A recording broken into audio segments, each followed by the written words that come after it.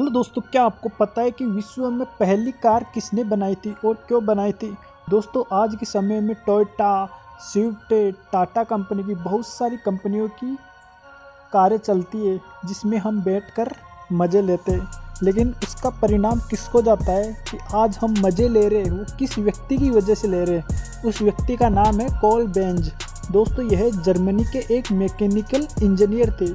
इन्होंने सन अठारह सौ पचासी में इंजन से चलने वाली पहली कार बनाई थी। सन याद रखना अट्ठारह में और आज के दिन हम मज़ा ले रहे गाड़ियों में बैठ बैठ के। ये इस कॉल बेंच की देन है तो इस आदमी को धन्यवाद कहना चाहिए हम सबको। तो आशा करता हूँ दोस्तों आपको वीडियो समझ आएगी समझ आए तो लाइक मत करिए एक बात और। दोस्तों, हमारे देश में गरीबी इतनी है कि अभी भी बहुत से लोगों के पास कार नहीं है तो उनको यही कहूँगा मैं कि सपने अपने बड़े रखो, क्योंकि मुश्किलों में हमेशा खड़े रहना क्योंकि मेहनत जिनकी रंग लाएगी एक दिन उनके पास भी अपनी ड्रीम कार आएगी।